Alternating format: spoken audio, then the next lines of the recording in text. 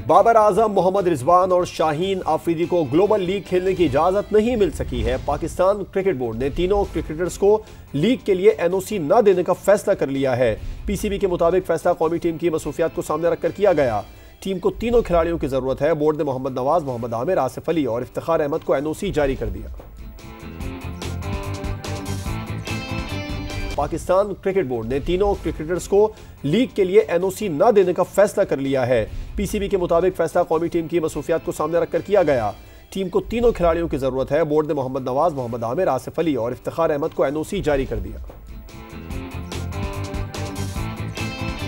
Pakistan cricket board ने तीनों cricketers को लीग के लिए एनओसी न देने का फैसला कर लिया है।